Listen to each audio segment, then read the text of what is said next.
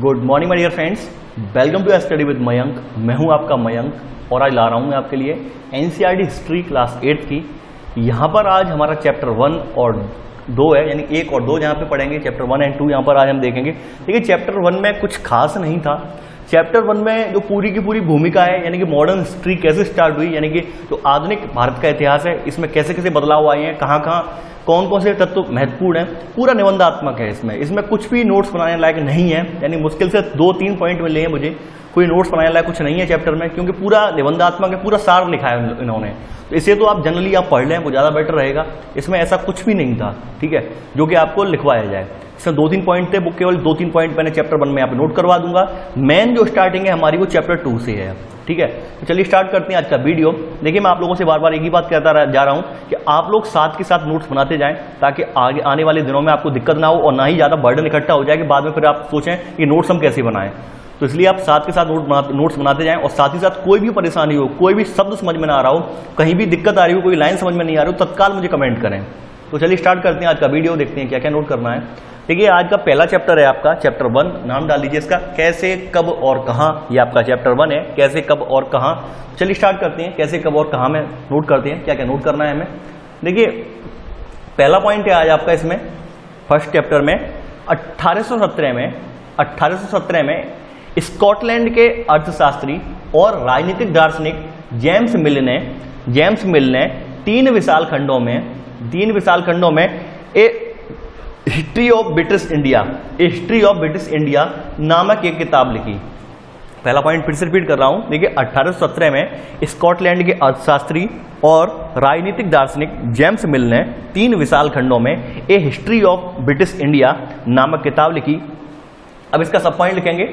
इसका सब पॉइंट है, यानी कि इस किताब, यानी कि जो ये किताब है, इस किताब में भारत के इतिहास को, भारत के इतिहास को जो है तीन कालखंडों। इस काल इस किताब में, भारत के इतिहास को तीन कालखंडों में, यानी कि हिंदू, मुस्लिम और ब्रिटिश में बांटा गया है। ठीक है? इस किताब में भारत के इतिहास को तीन कालखंडों, हिंदू, मुस्लिम और ब्रिटिश में बांटा था। ठीक है? तो पहले का सब पॉइंट हो गया आपका। चलिए आगे बढ़ते हैं। सेकेंड पॉइंट है आपका, देखिए रॉबर्ट क्लाइव। रॉबर्ट क्लाइव ने रेनेल को हिंदुस्तान के नक्शे बना, तैयार करने का काम सौंपा था। ये सेकंड पॉइंट नोट कर लीजिए कि रॉबर्ट क्लाइव ने रेनेल को हिंदुस्तान के नक्शे तैयार करने का काम सौंपा था, ठीक है?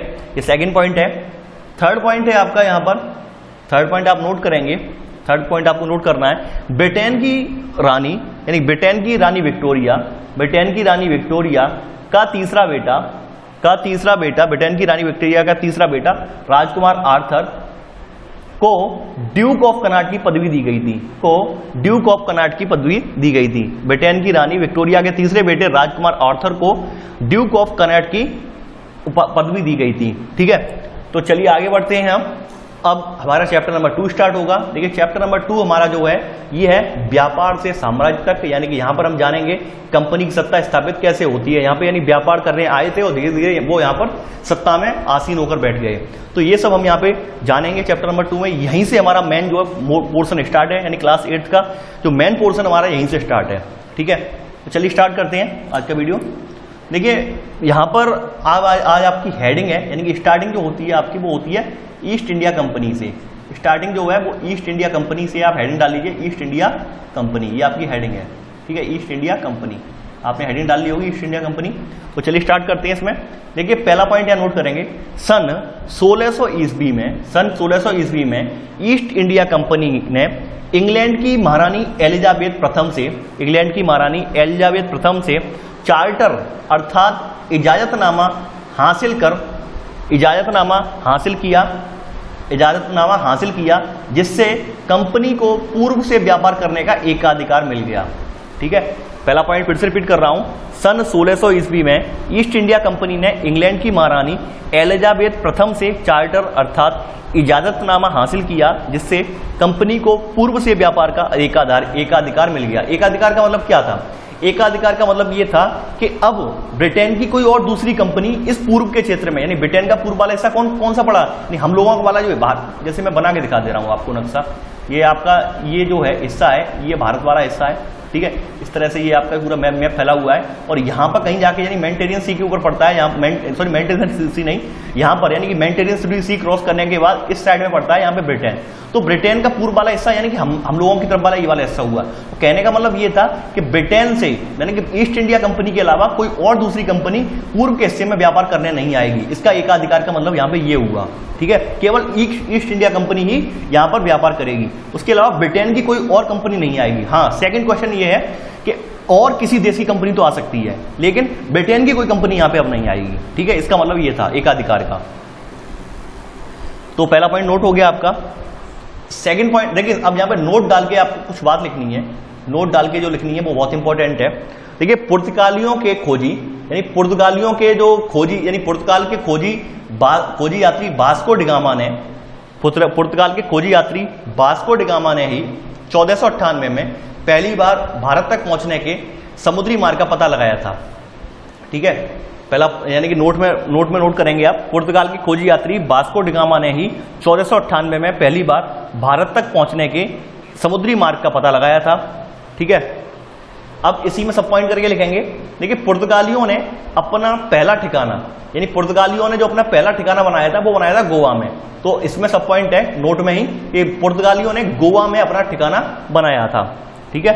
पुर्तगालियों ने गोवा में अपना पहला ठिकाना बनाया था। ठीक है? सेकंड पॉइंट लिखेंगे अब यहाँ पर। देखिए नोट टू लिखेंगे, यानी नोट वन ये हो गया आपका नोट वन में पहला पॉइंट और उसका सब पॉइंट अब नोट टू है आपका नोट टू है नोट टू ठीक है? अब इसमें लिखेंगे, सत्रहवीं शताब्दी की शुरुआत तक डच भी सत्रहवीं शताब्दी की शुरुआत में डच, उसके कुछ समय बाद फ्रांसीसी व्यापारी भारत में आ गए, ठीक है? सत्रहवीं शताब्दी के बाद सॉरी, सत्रहवीं शताब्दी की शुरुआत में डच और उसके कुछ समय बाद, उसके कुछ समय बाद फ्रांसीसी व्यापारी भी भारत आ गए, ठीक है? अब इसी में सब यानी इसी में ही लिखेंगे, सब पॉइंट इसी में सब पॉइंट करके लिखेंगे। देखिए, क्रम लिखवा दे रहा हूँ मैं आपको। क्रम जो क्या रहा है? पहले आए हैं आपके यहाँ पुर्तगाली। यानी पहले आए हैं पुर्तगाली। पुर्तगालियों के बाद आए हैं कौन? पुर्तगालियों के बाद आए हैं ब्रिटिश। ठीक है? पुर्तगालियों के बाद आए हैं ब्रिटिश। ब्रिटिश के बाद आए हैं आपके डच। ठीक है? अब डच के बाद आए हैं फ्रांसीसी। ये क्रम आप लिख लीजिए, ताकि आपको ये याद रहे। और ये हर बार पूछा जाता है हर एग्ज़ाम में। पुर्तगाली, ब्रिटिश, डच और फ्रांसीसी। ठीक है?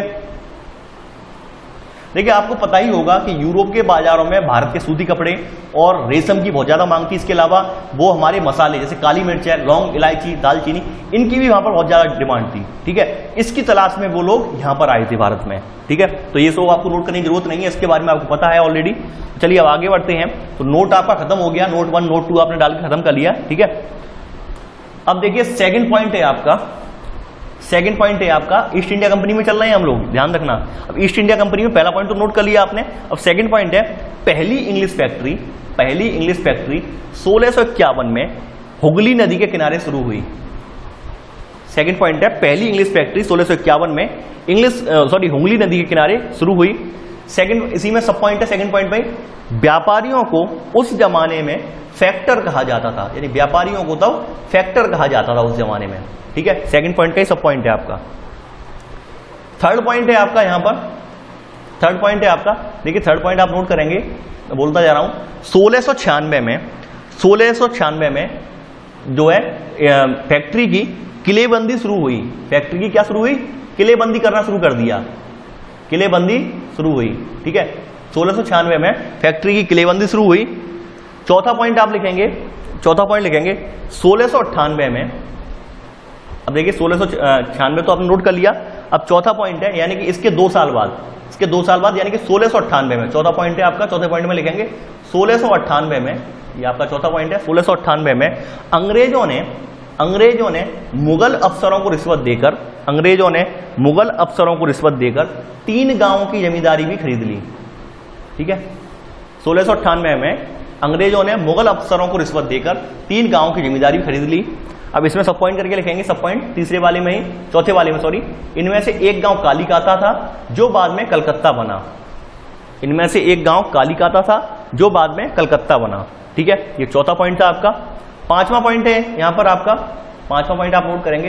कंपनी ने कंपनी ने मुगल, कंपनी ने औरंगज़ेब, यानी औरंगज़ेब से शुल्क चुकाए बिना व्यापार करने का फरमान जारी करवा लिया। देखिए, इन लोगों ने क्या किया कि इन लोगों ने पहले क्या था, इनको व्यापार करने के लिए भारत में शुल्क चुकाना पड़ता था। जो वहाँ के जो राजसी क्षेत्र थे, उन्हें शुल्क चुकाना पड़ता था, लेकिन उस समय औरंगज़ेब, चूँकि उस समय औरंगज़ेब जो मुगल सम्राट था तो इन लोगों ने मुगल सम्राट औरंगज़ेब को इस बात के लिए तैयार कर लिया कि हम बिना शुल्क चुकाए जो है, हम अपना व्यापार कर सकें। ठीक है? तो यार, पांचवा पॉइंट आप नोट करेंगे। कंपनी ने औरंगज़ेब से शुल्क चुकाए बिना, औरंगज़ेब से शुल्क चुकाए बिना व्यापार करने का फरमान जारी करवा लिया। ठीक है? ये पांचवा पॉइंट है। अब छठवा पॉइंट आप नोट करेंगे यहाँ पर। छठवा पॉइंट आपको बहुत इंपॉर्टेंट है। देखिए, बंगाल के नवाब, जो बंगाल के नवाब हैं, बंगाल के नवाब, छठवा पॉइंट है। बंगाल के नवाब, यानी कौन कौन नवाब रहे हैं बंगाल के, ये जानना बहुत ज़रूरी है। बंगाल के नवाब क्रम क्रम है। पहला है मुर्शिद कुली खान है। उसके बाद अलीवर्दी खान है, यानी कि पहला क्रम में है, मुर्शिद कुली खान, फिर उसके बाद अलीवर्दी खान, और उसके बाद कौन बना है? सिराजुद्दौला, यानी उसके बाद सिराजुद्दौला। तो तीन रहे हैं नवाब, बंगाल के नवाब, मुर्शिद कुली खान, उसके बाद अलीवर्दी खान, फिर सिराजुद्दौला। डैश करके कर करके लिख लीजिए, आप समझ जाएँगे। तो ये था ईस्ट इंडिया कंपनी का इतिहास, अब आप समझ गए होंगे। देखिए, ईस्ट इंडिया कंपनी ने, इन्होंने जो औरंगज़ेब से जो फरमान इन्होंने जारी करवाया था, इसका दुरुपयोग ये हुआ कि ये तो जो फरमान था, औरंगज़ेब ने कंपनी के लिए जारी किया था, लेकिन कुछ ऐसे अफसर भी थे कंपनी के जो इस फरमान का दुरुपयोग करके खुद का निजी व्यापार भी चला रहे थे। यानी खुद पृथक व्यापार भी करते थे और इस फरमान को दिखाकर बोल देते थे कि हमें भी वो कर, यहाँ पर कर नहीं देना है। तो ऐसे करके क्या हुआ? जो औरंगज़ेब था, उसे बहुत ज़्यादा लॉस लॉस हुआ। औरंगज़ेब ने तो केवल ईस्ट इंडिया कंपनी को छूट दी थी। उनके जो कर्मचारी उनको छूट नहीं दी थी। कहीं कर्मचारी अगर अपना कोई पृथक व्यापार करेंगे, उन्हें छूट नहीं थी लेकिन यहाँ पर कर्मचारी जो है, बहुत ज़्यादा काम चोरी करते थे। वो लोग ये झूठ बोल देते थे कि नहीं, हमें भी छूट मिल गई है। और अपना व्यापार भी उसके साथ में चलाते थे। ठीक है? तो ये कहानी थी बैकग्राउंड की, वो मैंने बता दी। तो छह पॉइंट थे इसमें, छह पॉइंट आपने नोट कर लिए ईस्ट इंडिया कंपनी के। तो चलिए अब आगे बढ़ते हैं अब चलिए, अब आपकी हेडिंग है, ये है प्लासी का युद्ध। प्लासी का युद्ध, ये हुआ है सत्रह में। सत्रह में, यानी प्लासी का युद्ध हुआ है सत्रह में, ठीक है? पहला पॉइंट आप नोट करेंगे यहाँ पर। सत्रह में अलीवर्दी खान की मृत्यु के बाद सिराज, सिराजुद्दौला बंगाल के नवाब बने। ठीक है? यानी कि सत्रह सौ छप्पन में अलीवर्दी खान की मृत्यु के बाद सिराजुद्दौला बंगाल का नवाब बना। सेकंड पॉइंट यहाँ नोट करेंगे। इसी में सब पॉइंट है। इसी में ही सब पॉइंट आप नोट करेंगे। सिराजुद्दौला ने इसी में से पहले का ही सब पॉइंट है। सिराजुद्दौला ने तीस हज़ार सिपाहियों के साथ नव नवाब ने, नहीं सिराजुद्दौला ने तीस हज़ार सिपाहियों के साथ कासिम बाज़ार में स्थित इंग्लिश फैक्ट्री पर हमला बोल दिया। ठीक है? इस राजुद्दौला जो नवाब बना, उसने तीस हज़ार सिपाहियों के साथ कासिम बाज़ार में स्थित फैक्ट्री पर हमला बोल दिया।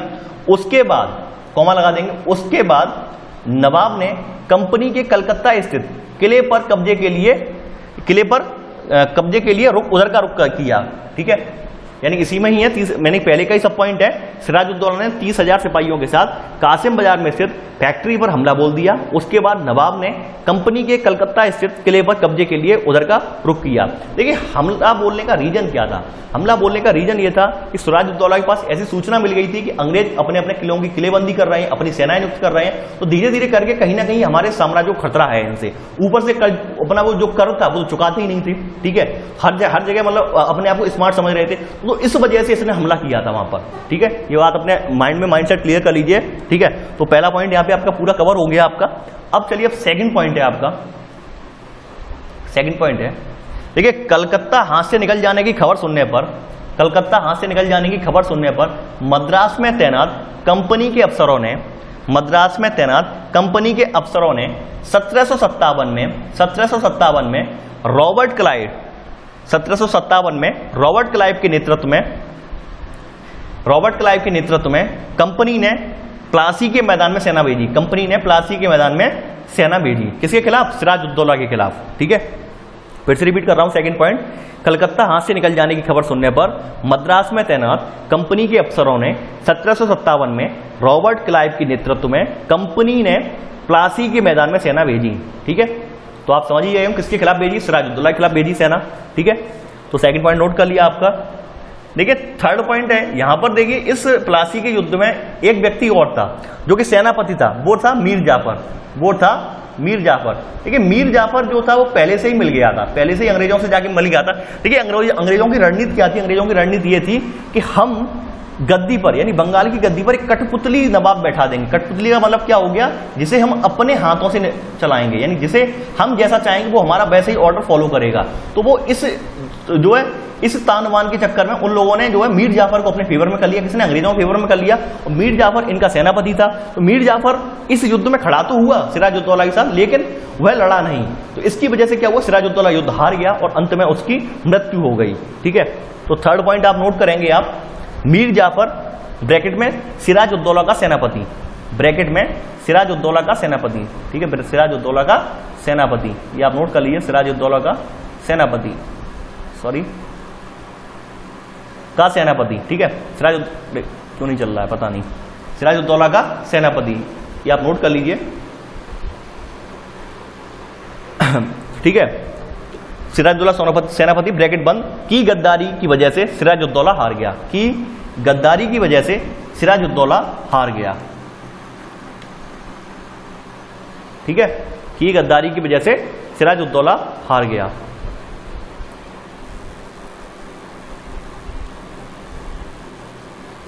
तो ये था आपका तीसरा पॉइंट अब चौथा पॉइंट है आपका। देखिए, चौथा पॉइंट में आप लिखेंगे, चौथे पॉइंट में आप सिराजुद्दौला को मारकर मीर जाफ़र को नवाब बनाया गया। सिराजुद्दौला को मारकर मीर जाफ़र को नवाब बनाया गया। ठीक है? तो चलिए चलिए आगे बढ़ते हैं। तो ये था प्लासी का युद्ध पूरा। अब चलिए, अब अगला जो युद्ध है, ये है बक्सर का युद्ध। बक्सर का युद्ध सत्रह ठीक है? लिख लीजिए, बक्सर का युद्ध सत्रह बक्सर का युद्ध ये हुआ है सत्रह में। ठीक है? सत्रह बक्सर का युद्ध, सत्रह चलिए इसमें नोट करेंगे अब आप। देखिए, क्या था? मीर जाफ़र, यानी कि जो जो नवाब बने, सबके साथ दिक्कत ये की थी कि अंग्रेज़ हर किसी के साथ एक जैसा व्यवहार कर रहे थे। यानी कि एक तो कर देते नहीं थे टाइम पे, कर चुकाते नहीं थे। ऊपर से अपना अब यहाँ पे शासन चलाने लगे, यानी कि खुद की अपनी तानाशाही चलाने लगे। तो जो भी नवाब होते थे तो वो ये सोचते थे, भाई, हमारी यहाँ पे अपनी खुद की गरिमा बनी हुई है, हमारी अपनी यहाँ पे इमेज बनी हुई है एक नवाब की, और ये लोग कुछ हमारे मान ही नहीं रहे हैं। तो वो लोग विरोध करने लगते थे। तो ठीक ऐसा ही इसके साथ भी हुआ। ठीक है? तो यहाँ पे पहला पॉइंट लिखेंगे पहला पॉइंट इसमें नोट करेंगे। जब मीर जाफ़र ने, जब मीर जाफ़र ने कंपनी का विरोध किया तो कंपनी ने उसे हटाकर मीर कासिम को नवाब बना दिया। ठीक है? जब मीर जाफ़र ने कंपनी का विरोध किया तो कंपनी ने उसे हटाकर मीर कासिम को नवाब बना दिया। ठीक है? सेकंड पॉइंट लिखेंगे यहाँ पर। जब मीर कासिम परेशान करने लगा तो जब मीर कासिम परेशान करने लगा तो बक्सर की लड़ाई, सत्रह में उसको भी हराना पड़ा। किसने हरा? हराया उसे? उसे अंग्रेज़ों ने हराया, ठीक है? जब मीर कासिम परेशान करने लगा तो बक्सर की लड़ाई में उसको भी हराना पड़ा, ठीक है? ये सेकंड पॉइंट था आपका। सेकंड पॉइंट नहीं था, देखिए, ये पहले पॉइंट के सब पॉइंट बना लीजिए इसे। सेकंड पॉइंट मत करिए, पहले पॉइंट के सब पॉइंट बना लीजिए, ठीक है? सेकंड पॉइंट मत रखिए। सेकंड पॉइंट रखेंगे तो दिक्कत होगी। या फिर सेकंड पॉइंट ही रहने दीजिए, कोई दिक्कत नहीं सेकंड पॉइंट ही रहने दीजिए। चलिए, कोई दिक्कत नहीं है, ठीक है? तो सेकंड पॉइंट आपका होगा, जब जब मीर कासिम परेशान करने लगा तो बक्सर की लड़ाई सत्रह में उसको भी हटाना पड़ा, या हराना पड़ा, ठीक है? अब थर्ड पॉइंट है आपका, अब थर्ड पॉइंट है, अब फिर से, अब फिर से थर्ड पॉइंट है, यहाँ पर, अब फिर से मीर जाफ़र को दोबारा बनाया गया, यानी अब फिर से मीर जाफ़र को दोबारा नवाब बनाया गया। अब फिर से मीर जाफ़र को दोबारा नवाब बनाया गया। ठीक है? अब फिर से मीर जाफ़र को दोबारा नवाब बनाया गया। ठीक है? अब नवाब को हर महीने पाँच लाख रुपए कंपनी को चुकाने थे। ये देखिए, इनकी रणनीति देखिए अंग्रेज़ों की। यानी कि अंग्रेज़ जो भी युद्ध लड़ते थे, उसका हरजाना उसी राज्य के राजा से वसूलते थे। इनकी रणनीति थी। ठीक है? उसका हरजाना उसी राज्य के राजा से वसूलते थे ये लोग। तो आपका थर्ड पॉइंट है, अब फिर से मीर जाफ़र मीर जाफ़र को दोबारा नवाब बनाया गया। अब नवाब को हर महीने पाँच लाख रुपए कंपनी को चुकाने थे। ठीक है? चौथा पॉइंट है आपका, चौथा पॉइंट है, सत्रह सौ पैंसठ में, सत्रह सौ पैंसठ में मीर जाफ़र की मृत्यु, मीर जाफ़र की मृत्यु के बाद, मृत्यु के बाद, सत्रह सौ पैंसठ में मीर जाफ़र की मृत्यु के बाद रॉबर्ट क्लाइव ने ऐलान किया। मृत्यु के बाद किसने ऐलान किया? रॉबर्ट क्लाइव ने। रॉबर्ट क्लाइव ने ऐलान किया, ठीक है, कि अब हमें खुद ही नवाब बनना पड़ेगा। कि अब हमें खुद ही नवाब बनना पड़ेगा। फिर से रिपीट कर रहा हूँ, चौथा पॉइंट सत्रह सौ पैंसठ में मीर जाफ़र की मृत्यु के बाद रॉबर्ट क्लाइव ने ऐलान किया कि अब हमें खुद ही नवाब बनना पड़ेगा, ठीक है। आखिरकार आखिरकार सत्रह सौ पैंसठ में, आखिरकार सत्रह सौ पैंसठ में मुगल सम्राट ने कंपनी को ही बंगाल प्रांत का दीवान नियुक्त कर दिया। आखिरकार सत्रह सौ पैंसठ में जो मुगल सम्राट था, उसने जो है, कंपनी, यानी कंपनी को ही बंगाल प्रांत का दीवान नियुक्त कर दिया। दीवान का मतलब क्या हो गया? राजस्व वसूलने वाला अधिकारी, ठीक है? दीवान का मतलब हो गया राजस्व वसूलने वाला अधिकारी, ठीक है? चौथा पॉइंट फिर से रिपीट कर रहा हूँ। सत्रह सौ पैंसठ में मीर जाफ़र की मृत्यु के बाद रॉबर्ट क्लाइव ने ऐलान किया कि अतः के अब हमें खुद ही अब नवाब बनना पड़ेगा। आखिरकार सत्रह सौ पैंसठ में मुगल सम्राट ने कंपनी को ही बंगाल प्रांत का दोबारा बंगाल प्रांत का दीवान नियुक्त कर दिया। ठीक है? अब देखिए, पांचवा पॉइंट लिखेंगे यहाँ पर आप। पांचवा पॉइंट लिखेंगे।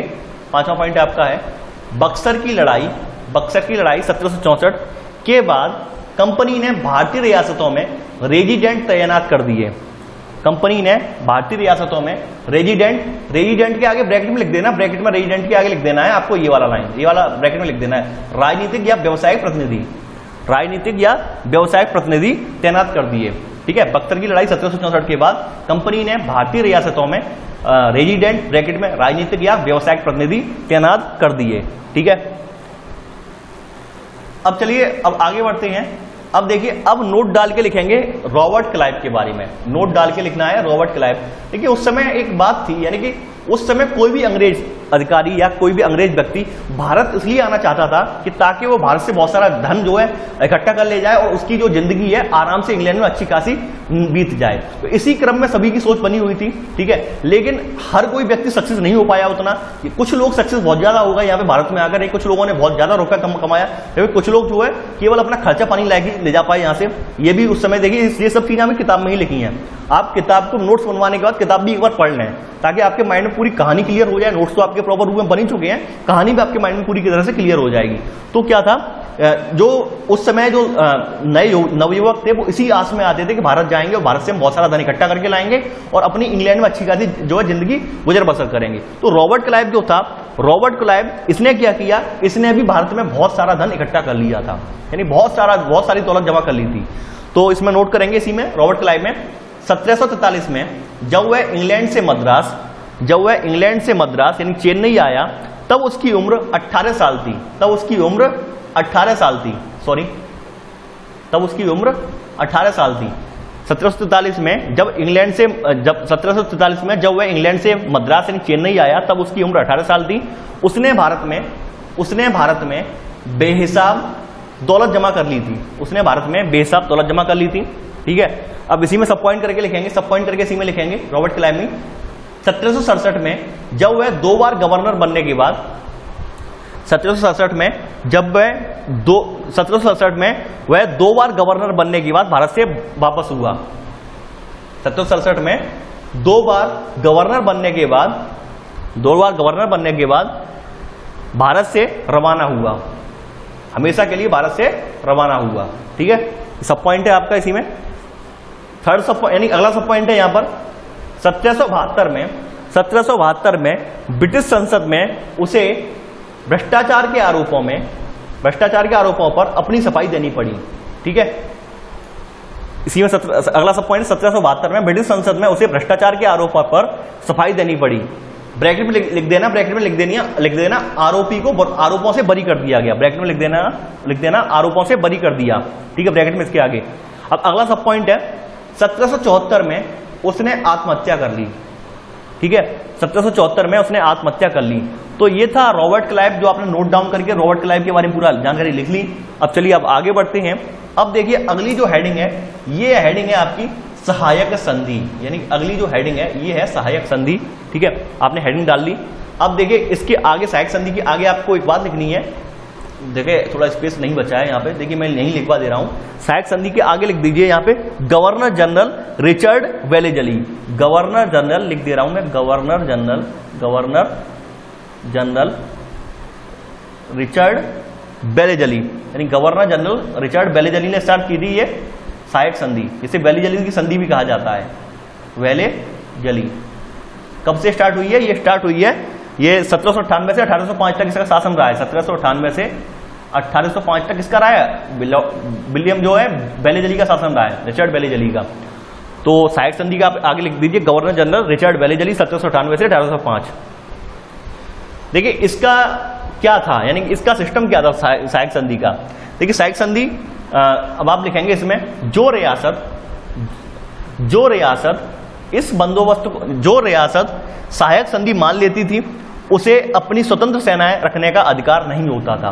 पहला पॉइंट आप नोट करेंगे सहायक संधि में, जो रियासत सहायक संधि को मान लेती थी, सहायक संधि को मान लेती थी, उसे अपनी स्वतंत्र सेनाएँ रखने का अधिकार नहीं रहता था। ठीक है? पहला पॉइंट है। सेकंड पॉइंट है आपका। सेकंड पॉइंट है, यहाँ पर उसे कंपनी की तरफ़ से सुरक्षा मिलती थी। उसे कंपनी की तरफ़ से सुरक्षा मिलती थी और सहायक सेना के रखरखाव के लिए वह कंपनी को पैसे देती थी। ठीक है? उसे कंपनी की तरफ़ से सुरक्षा मिलती थी और सहायक सेना के रखरखाव के लिए वह कंपनी की को पैसा देती थी। ठीक है? थर्ड पॉइंट है यहाँ पर। थर्ड पॉइंट है, देखिए, जो शासक थर्ड थर्ड पॉइंट है, जो शासक रकम अदा करने में, अदा करने में चूक जाते थे, जो शासक रकम अदा करने में चूक जाते थे, ठीक है? तो जुर्माने के तौर पर तो जुर्माने के तौर पर उनका इलाका कंपनी अपने कब्जे में ले लेती थी। तो जुर्माने के तौर पर उनका इलाका कंपनी अपने कब्जे में ले लेती थी। ठीक है? उदाहरण। उदाहरण डाल के लिख लीजिए। उदाहरण डाल के आप लिख लेंगे। देखिए, उस समय जो है, अवध के नवाब का आधा, यानी उस समय अवध के नवाब को 1801 में, उस समय अवध के, यानी उस समय सॉरी उस समय नहीं लिखे, उदाहरण उदाहरण डाल के लिख लीजिए, उदाहरण, कि अवध के नवाब का आधा इलाका 1801 में, अवध के नवाब का आधा इलाका 1800 ब्रैकेट में 1801 में। कोमा, अवध के नवाब का आधा इलाका ब्रैकेट में 1801 में। वह वह वह हैदराबाद के कई इलाके इसी आधार पर छीने गए। वह हैदराबाद के कई इलाके इसी आधार पर छीने गए। फिर से रिपीट कर रहा हूँ उदाहरण कि अवध के नवाब का आधा इलाका ब्रैकेट में 1801 में वह हैदराबाद के कई इलाके इसी आधार पर छीने गए, ठीक है? तो ये थी सहायक संधि जिसे रिचर्ड बेलेजली स्टार्ट किया था। तो चलिए अब आगे बढ़ते हैं। अब आती है हेडिंग आपकी, यानी अब आपकी अगली हेडिंग हेडिंग है मैसूर। हेडिंग डाल लीजिए मैसूर, ठीक है? इसके आगे लिख देंगे मैसूर के आगे, टीपू सुल्तान ब्रैकेट ब्रैकेट में शेर ए मैसूर। मैसूर हेडिंग है। मैसूर के आगे टीपू सुल्तान ब्रैकेट में शेर ए मैसूर। पहला पॉइंट यहाँ पर नोट करेंगे आप। पहला पॉइंट आपको नोट करना है। हैदर अली, शासनकाल, यानी हैदर अली ब्रैकेट में सत्रह से सत्रह और उसके पुत्र, यानी और उसका देखिए, पहला पॉइंट फिर से रिपीट कर रहा हूँ। हैदर अली तथा टीपू सुल्तान। टीपू सुल्तान का कब से कब तक रहा है? सत्रह सौ बयासी से सत्रह सौ निन्यानवे तक। नहीं, हैदर अली सत्रह सौ इकसठ से सत्रह सौ बयासी तथा टीपू सुल्तान सत्रह सौ बयासी से सत्रह सौ निन्यानवे के नेतृत्व में मैसूर काफ़ी ताकतवर ताकतवर हो चुका था। के नेतृत्व में मैसूर काफ़ी ताकतवर हो चुका था। ठीक है, पहला पॉइंट नोट कर लिया होगा। हैदर अली सत्रह सौ इकसठ से सत्रह सौ बयासी ब्रैकेट बंद तथा टीपू सुल्तान सत्रह सौ बयासी से सत्रह सौ निन्यानवे के नेतृत्व में मैसूर काफ़ी ताकतवर हो चुका था। ठीक है। सेकंड पॉइंट नोट करेंगे। सत्रह में सत्रह सौ पचासी में टीपू सुल्तान ने, सत्रह सौ पचासी में टीपू सुल्तान ने बंदरगाहों से चंदन की लकड़ी, काली मिर्च और इलायची का निर्यात रोक दिया। ठीक है? सत्रह सौ पचासी में टीपू सुल्तान ने बंदरगाहों से चंदन की लकड़ी, काली मिर्च और इलायची का निर्यात रोक दिया। ठीक है? चौथा सॉरी थर्ड पॉइंट आप नोट करेंगे इसमें। टीपू ने टीपू ने भारत में रहने वाले फ्रांसीसी व्यापारियों से घनिष्ठ संबंध विकसित किए। टीपू ने भारत में रहने वाले फ्रांसीसी व्यापारियों से घनिष्ठ संबंध विकसित किए और उनकी मदद से और उनकी मदद से अपनी सेना का आधुनिकीकरण किया। देखिए, टीपू सुल्तान एक पैसा पहला शासक था जिसने अपनी सेना का आधुनिकीकरण किया था। देखिए उस समय क्या था? कि जो हमारे भारतीय सैनिक थे, वो इतने प्रशिक्षित नहीं थे, इतने वेल ट्रेंड नहीं थे, और ना ही हमारे यहाँ इतने अच्छे किस्म के हथियार थे, ठीक है? जैसे कि आपको पता होगा, यूरोप में औद्योगिक क्रांति हमारे यहाँ से बहुत पहले हो चुकी थी तो वहाँ पर उन्नत किस्म के हथियार भी बने लगे। उनके सैनिक जो थे बहुत उन्नत किस्म की ट्रेनिंग भी प्राप्त किए हुए थे, जबकि हमारे यहाँ के सैनिक इतने ज़्यादा एडवांस न ट्रेनिंग में थे, न ही हथियारों में थे। तो सबसे पहला शासक ये टीपू सुल्तान था, जिसने अपनी सेना का आधुनिकीकरण किया था। किसकी मदद से? फ्रांस की मदद से किया था, ठीक है? तो चौथा, तीसरा पॉइंट नोट कर लिया होगा, टीपू ने भारत में रहने वाले फ्रांसीसी जो है व्यापारियों से घनिष्ठ संबंध विकसित किए और उनकी मदद से अपनी सेना का आधुनिकीकरण किया। ठीक है? चौथा पॉइंट है आपका यहाँ पर। चौथा पॉइंट है, मैसूर के साथ अंग्रेज़ों की चार बार जंग हुई। मैसूर के साथ अंग्रेज़ों की चार बार जंग हुई। कब कब हुई? देखिए, सत्रह सौ, सड़सठ से सत्रह तक, सत्रह सौ अस्सी से चौरासी तक, सत्रह सौ नब्बे से बानवे तक और सत्रह सौ निन्यानवे में। ये चार बार जंग हुई है। इन पहली बार, दूसरी बार, तीसरी बार और ये चौथी बार ठीक है, ये चौथी बार चार बार जंग हुई है ये, ठीक है? तो आपने लिख लिया होगा। पांचवा, देखिए, अब इसी में यानी चारों पॉइंट लिख लिया आपने, चौथा पॉइंट लिख लिया। अब देखिए, पांचवा पॉइंट है यहाँ पर आपका। पांचवा पॉइंट है, सत्रह सौ बानवे में, सत्रह में मराठों हैदराबाद के निज़ाम और कंपनी की संयुक्त फौजों के हमले के बाद और कम, सत्रह में मराठों हैदराबाद के निज़ाम और कंपनी की संयुक्त फौजों के हमले के बाद टीपू सुल्तान को के बाद टीपू सुल्तान को अंग्रेज़ों से संधि करनी पड़ी थी। टीपू सुल्तान को अंग्रेज़ों से संधि करनी पड़ी थी। ठीक है? संधि करनी पड़ी थी। अब सब पॉइंट पाँच में कई सब पॉइंट करके लिखेंगे। इस संधि के तहत, इस संधि के तहत उसके दो उसके दो बेटों को अंग्रेज़ों के ने बंधक के रूप में अपने पास रख लिया इस संधि के तहत। उसके दो बेटों को अंग्रेज़ों, ब्रैकेट में लिख देना, ठीक है, अंग्रेज़ों के आगे ब्रैकेट में लिख देना, लॉर्ड कार्नवालिस। अंग्रेज़ों के आगे ब्रैकेट में लिख देना, लॉर्ड कार्नवालिस, ठीक है? लॉर्ड कार्नवालिस था इसके समय। ठीक है? ये ब्रैकेट में लिख देना। फिर से रिपीट कर रहा हूँ। तो पांचवे का सब पॉइंट। इस संधि के तहत उसके दो बेटों को अंग्रेज़ों, ब्रैकेट में लॉर्ड कार्नवालिस ने बंधक के रूप में अपने पास रख लिया। ठीक है? छठवां पॉइंट है आपका यहाँ पर, श्रीरंगपट्टनम। छठवां पॉइंट है आपका, ये वाला छठवां पॉइंट है। श्रीरंगपट्टनम की आखिरी जंग में टीपू मारा गया। श्रीरंगपट्टनम की आखिरी जंग में टीपू मारा गया, ठीक है? टीपू मारा गया। तथा तथा सत्ता बोडिया राजवंश के हाथों में सौंप दी गई। तथा सत्ता बोडिया राजवंश के हाथों में सौंप दी गई। देखिए, टीपू सुल्तान की जो मृत्यु हुई है, वो हुई है चार मई सत्रह में, चार मई सत्रह में मृत्यु हुई है। ये मेंशन नहीं था इसमें, लेकिन मैं बता दे रहा हूँ आपको। ठीक है, लिख लीजिए आप। श्री रंगपट्टनम की आखिरी जंग में टीपू मारा गया, तथा सत्ता बोडियार राजवंश को सौंप दी गई। ठीक है?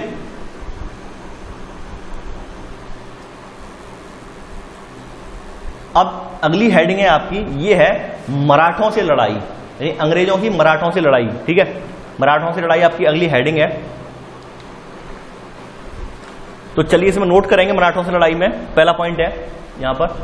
1761 में पानीपत की तीसरी लड़ाई के बाद 1761 में पानीपत की तीसरी लड़ाई में हार के बाद दिल्ली से देश का, दिल्ली से दिल्ली से, देखिए, सत्रह सौ इकसठ में पानीपत की तीसरी लड़ाई में हार के बाद मराठा राज्य कई राज्यों में बट गया। ठीक है, इस तरह से कर लीजिए आप, पहला पॉइंट सत्रह सौ इकसठ में पानीपत की तीसरी लड़ाई के, तीसरी लड़ाई में हार के बाद, तीसरी लड़ाई में हार के बाद मराठा राज्य कई राज्यों में बट गया। ठीक है, मराठा राज्य कई राज्यों में बट गया। पहला पॉइंट इस तरह से है। अब इसी में सब पॉइंट पहले पॉइंट में लिखेंगे।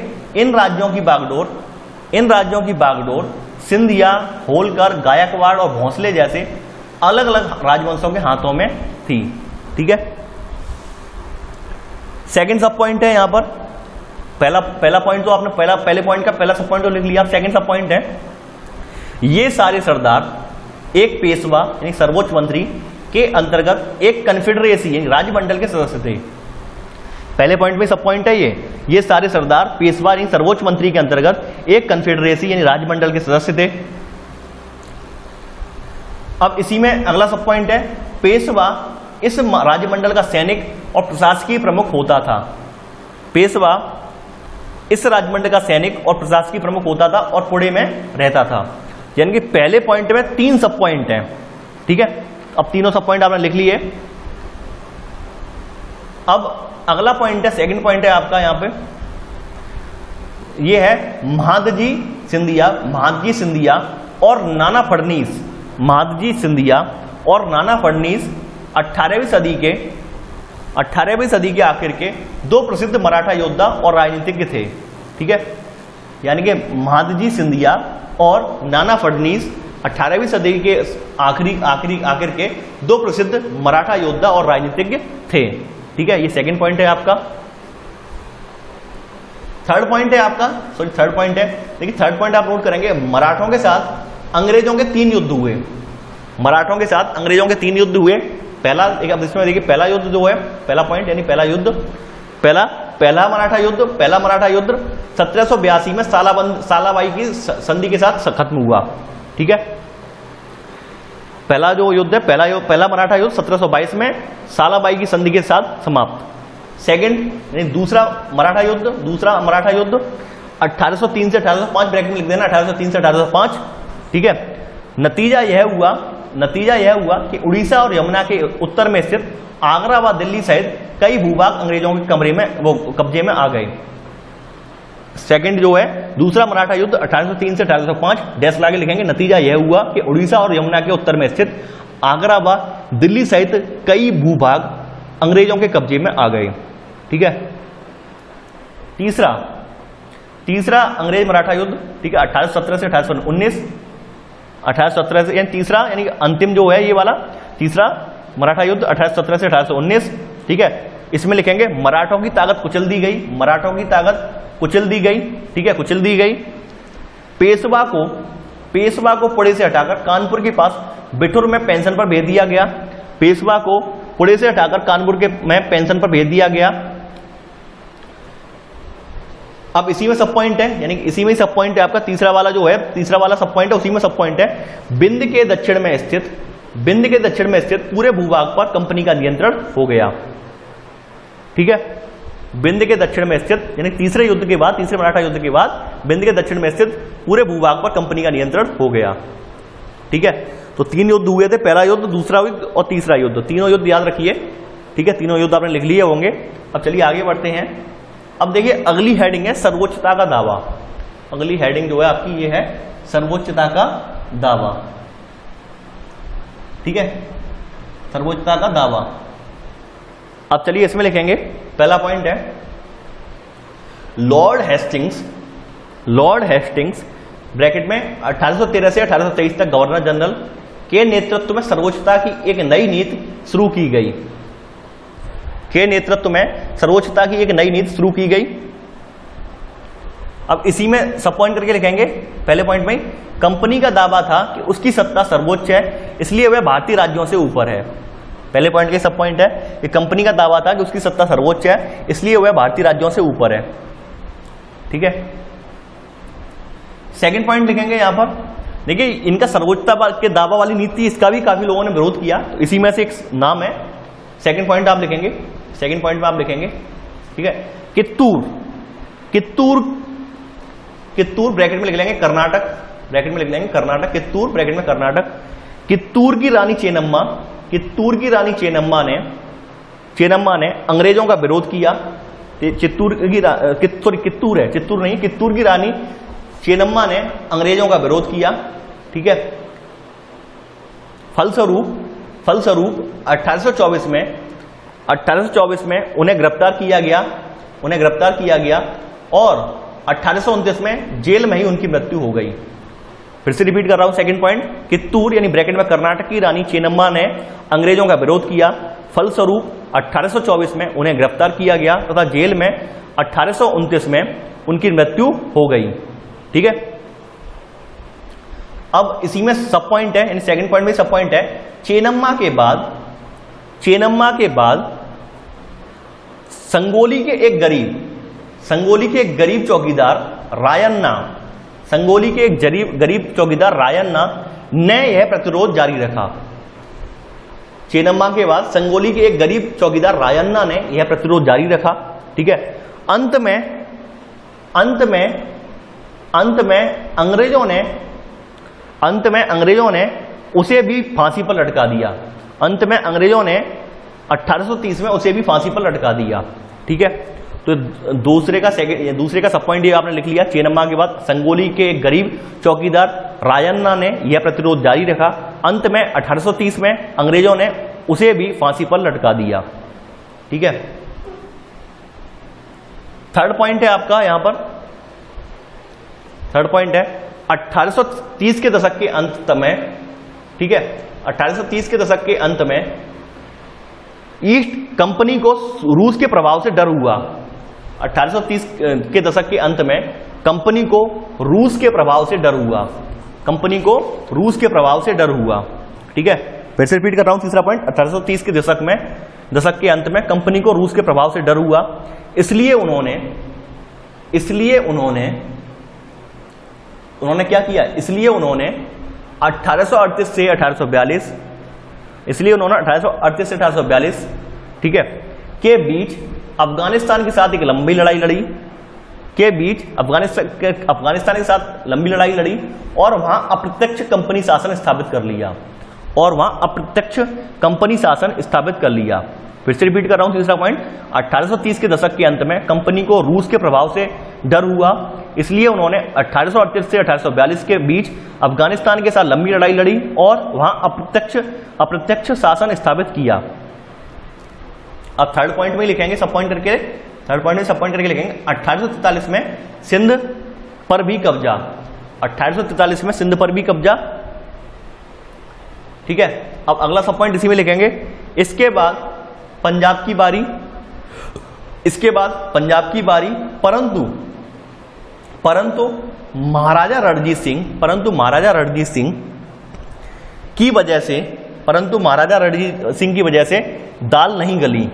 परंतु महाराजा रणजीत सिंह की वजह से दाल नहीं गली, दाल नहीं गली, ठीक है? विराम अठारह में उनकी मृत्यु के बाद अठारह में उनकी मृत्यु के बाद, ठीक है?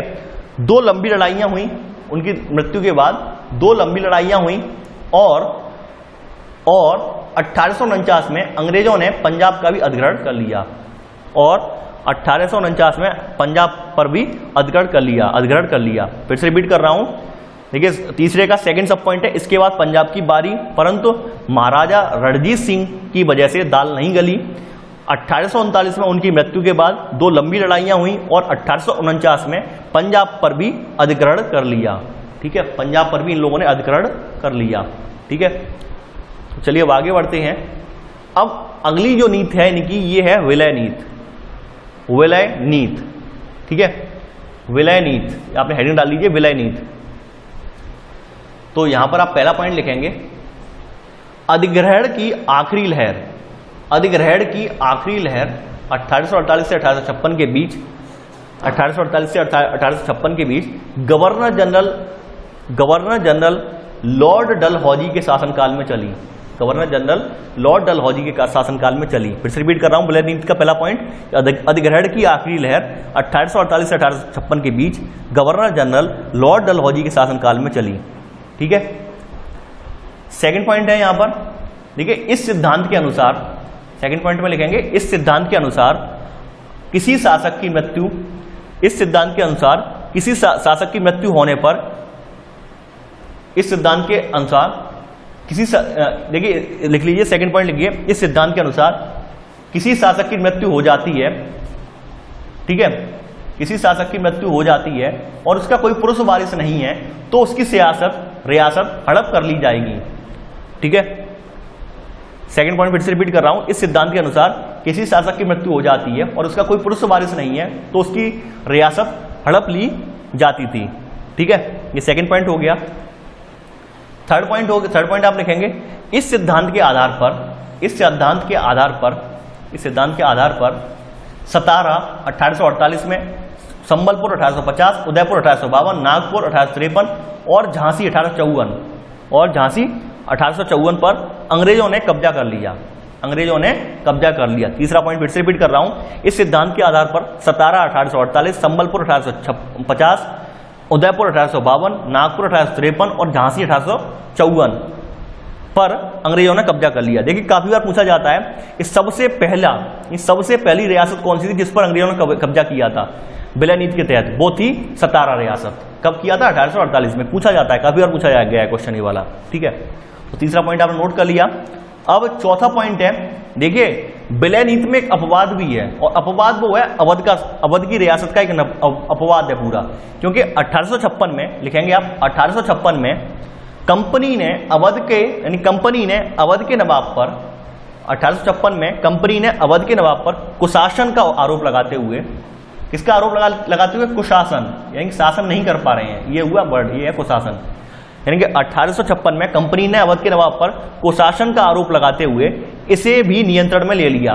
देखिए, ये सबसे बड़ा अपवाद है, चौथा वाला यही पॉइंट कि सबसे बड़ी इनकी जो किरकिरी हुई, सबसे ज़्यादा विद्रोह का, अठारह के विद्रोह में अवध का शामिल होने का कारण यही था कि इन्होंने अवध का शासन ही अवध में तो कोई ऐसा चक्कर था ही नहीं कि भाई उनका कोई बारिश ना हो, लेकिन इन लोगों ने उनका कुशासन का आरोप लगा के उस राज्य को भी हड़प लिया था। तो इससे क्या हुआ था? वहाँ की जनता जो है, बहुत ज़्यादा रुष्ट हो गई थी, बहुत ज़्यादा नाराज़ हो गई थी और अठारह के विद्रोह में अवध की जनता ने भी पार्टिसिपेट किया था, इसी वजह से। ठीक है? तो चौथा पॉइंट आपका नोट हो गया, अठारह में कंपनी ने अवध के नवाब पर कुशासन का आरोप लगाते हुए इसे भी नियंत्रण में ले लिया। अब देखिए अगली हेडिंग है आपकी, नए शासन की स्थापना, नए शासन की स्थापना। पहला पॉइंट आप लिखेंगे, पहला पॉइंट आप लिखेंगे Warren Hastings governor general Warren Hastings सत्रह से सत्रह सौ पचासी, सत्रह सौ सत्रह के समय तक, के समय तक कंपनी बंगाल, बंबई और मद्रास की सत्ता हासिल कर चुकी थी। के समय तक कंपनी बंगा, बंबई, बंगाल, बंबई और मद्रास की सत्ता हासिल कर चुकी थी। फिर से रिपीट कर रहा हूँ, पहला point governor general Warren Hastings bracket में सत्रह सौ तिहत्तर से सत्रह सौ पचासी, के समय तक कंपनी बंगाल, बंबई और मद्रास की सत्ता हासिल कर चुकी थी। सेकेंड पॉइंट लिखेंगे, यहाँ पर। सेकेंड पॉइंट आप लिखेंगे। ब्रिटिश इलाके तीन प्रेसिडेंसी में बटे थे। ब्रिटिश इलाके तीन प्रेसिडेंसी में बटे थे। कौन कौन से प्रेसिडेंसी थे? बंगाल, मद्रास और मुंबई बंगाल, मद्रास और मुंबई ब्रिटिश इलाके तीन प्रेसिडेंसी में बटे थे। डेस लगा के लिखेंगे, बंगाल, मद्रास और मुंबई या बंबई। ठीक है? अब सेकंड पॉइंट में सब सेकंड सब पॉइंट है। सेकंड पॉइंट में सेकंड सब पॉइंट है। शासन शासन गवर्नर के पास होता था। यानी इनका जो शासन था, जो प्रेसिडेंसियों का शासन था, वो गवर्नर के पास होता था और सबसे ऊपर गवर्नर जनरल होता था और सबसे ऊपर गवर्नर जनरल होता था और सबसे ऊपर गवर्नर जनरल होता था। सेकंड का सेकंड पॉइंट फिर से रिपीट कर रहा हूँ। यानी सेकंड का सेकंड सब पॉइंट फिर से रिपीट कर रहा हूँ। शासन गवर्नर के पास होता था और सबसे ऊपर गवर्नर जनरल होता था। ठीक है? थर्ड पॉइंट लिखेंगे आप। देखिए बारेन हेस्टिंग का नाम जो है, वो प्रशासकीय और न्याय क्षेत्र के सुधार में लिया जाता है। ठीक है? यानी जो बारेन हेस्टिंग है, इसका नाम काफ़ी बार प्रशासकीय सुधार और न्याय क्षेत्र के सुधार से संबंधित प्रश्न जब आता है तो वहाँ पर पूछा जाता है। तो थर्ड पॉइंट आप नोट करेंगे बारेन हेस्टिंग ने प्रशासकीय सुधार बारेन हेस्टिंग हेस्टिंग ने प्रशासकीय व न्याय के क्षेत्र व न्याय क्षेत्र में कई सुधार किए। तीसरा पॉइंट रिपीट कर रहा हूँ वारेन हेस्टिंग ने प्रशासकीय व न्याय क्षेत्र में कई सुधार किए। ठीक है? चौथा पॉइंट नोट करेंगे आप। सत्रह सौ बहत्तर में, सत्रह में नई व्यवस्था के अंतर्गत, नई व्यवस्था के अंतर्गत सत्रह सौ बहत्तर में नई व्यवस्था के अंतर्गत हर ज़िले में दो अदालतें स्थापित की गई। हर ज़िले में दो अदालतें स्थापित की गई। चौथा पॉइंट रिपीट कर रहा हूँ, सत्रह सौ बहत्तर में नई व्यवस्था के अंतर्गत हर ज़िले में दो अदालतें स्थापित की गई। अब पहली अदालत कौन सी थी? पहली अदालत थी यहाँ पर सब पॉइंट करके लिखेंगे, पहली अदालत थी, फौजदारी अदालत, ठीक है? फौजदारी अदालत, इसमें लिखेंगे फौजदारी अदालत में आगे लिखेंगे, काजी काजी या मुफ्ती के अंतर्गत कलेक्टर की निगरानी में, काजी और मुफ्ती के अंतर्गत कलेक्टर की निगरानी में, काजी और मुफ्ती के अंतर्गत कलेक्टर की निगरानी में, ठीक है?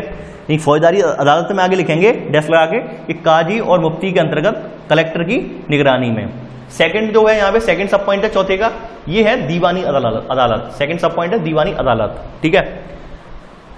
इसमें लिखेंगे यूरोपीय जिला कलेक्टर इनके मुखिया थे।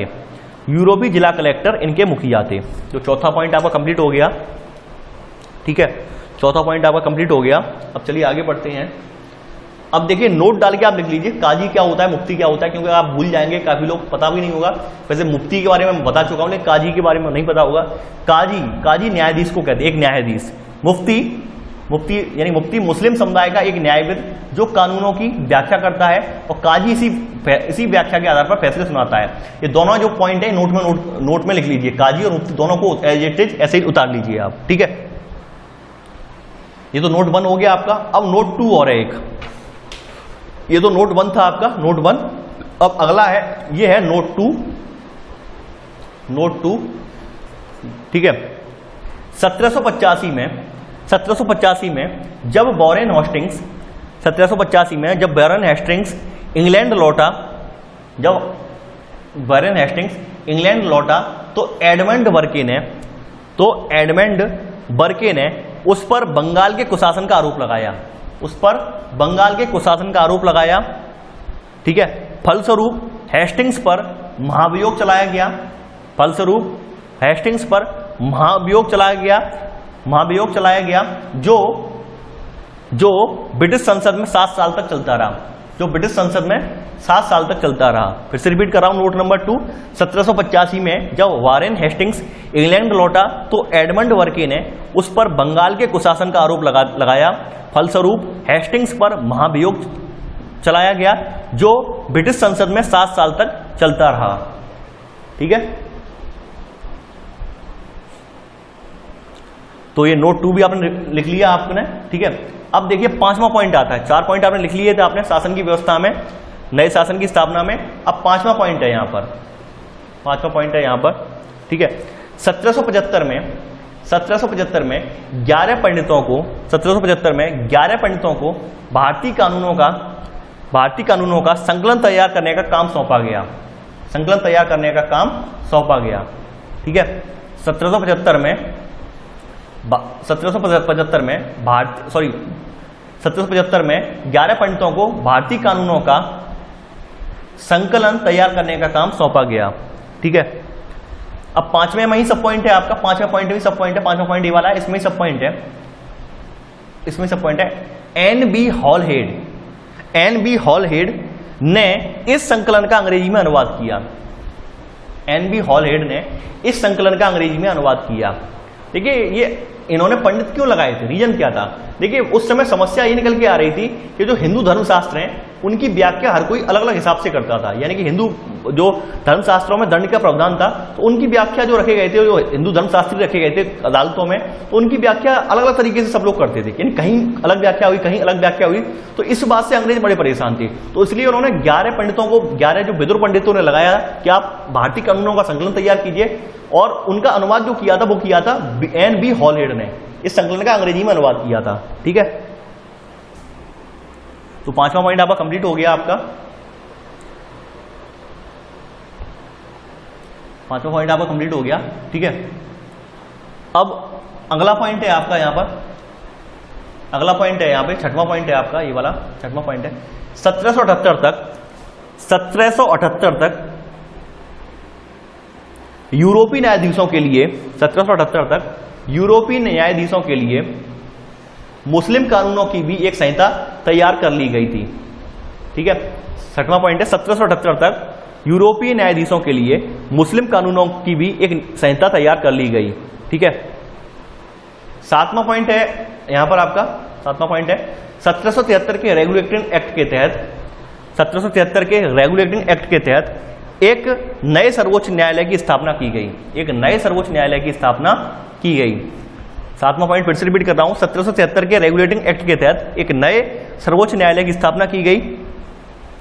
इसी में सब पॉइंट करके लिखेंगे। सातवें पॉइंट में, इसके अलावा कलकत्ता में अपीली अदालत, सदर निजामत अदालत की इस भी स्थापना की गई। ठीक है?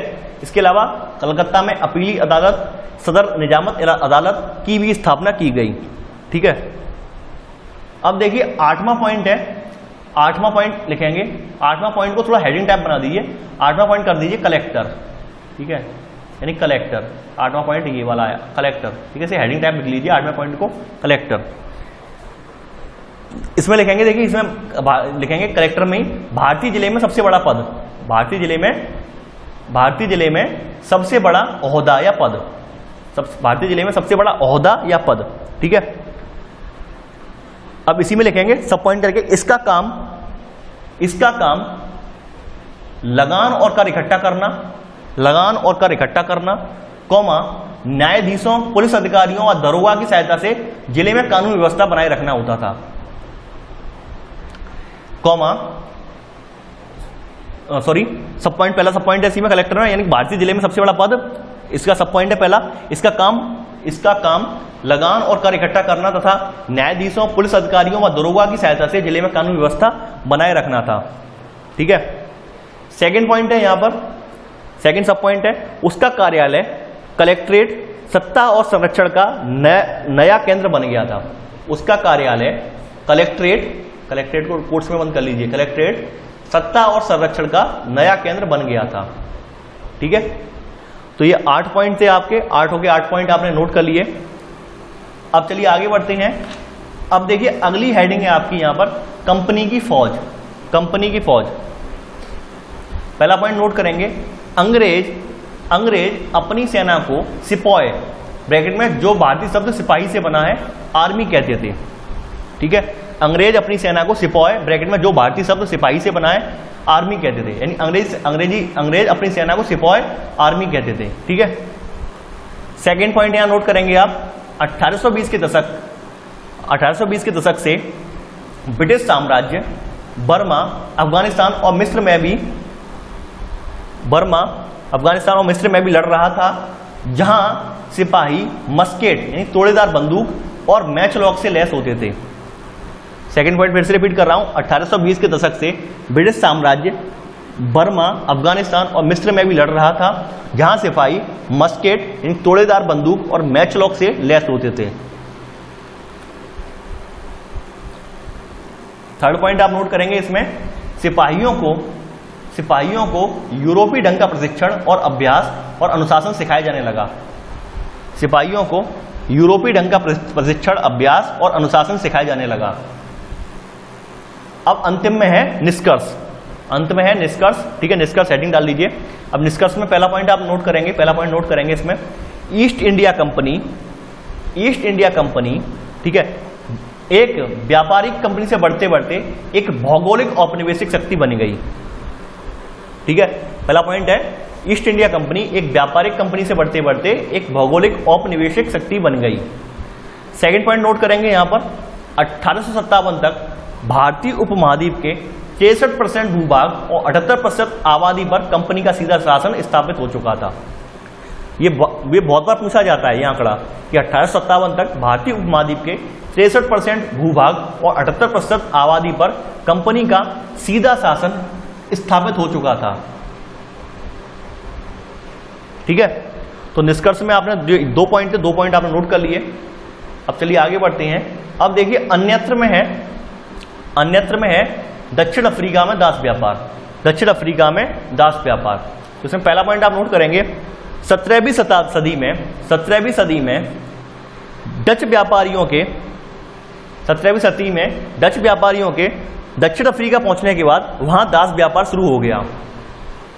सत्रहवीं सदी में डच व्यापारियों के दक्षिण अफ्रीका पहुँचने के बाद वहाँ दास व्यापार शुरू हो गया। सेकंड पॉइंट नोट करेंगे यहाँ पर। 1834 में दास प्रथा के अंत के समय अफ्रीका के दक्षिणी सिरे पर स्थित केप में निजी स्वामित्व के में दासों की संख्या छत्तीस हज़ार सात सौ चौहत्तर थी। तो देखिए, ये था आज आपका चैप्टर और आई होप आज आपके यहाँ पे दो चैप्टर कवर हुए हैं। यानी कि मैं तो एक्सपेक्ट ये कर रहा था कि इसमें छह चैप्टर होंगे। अब तो इसमें मात्र तीन चैप्टर और रह गए हैं आपके। मात्र तीन चैप्टर और रह गए हैं इसमें क्लास एट्थ में, यानी कुल छह चैप्टर थे। तो हमने यहाँ पे एक, दो, यानी पहला, दूसरा चैप्टर कवर कर लिया। सॉरी चार चैप्टर और रह गए हैं अभी। चार चैप्टर और रह गए हैं, ठीक है? अभी चार चैप्टर और रह गए यानी आने वाले आगे चार दिनों में आपकी क्लास एट्थ की जो है, ये हिस्ट्री समाप्त हो जाएगी, ठीक है?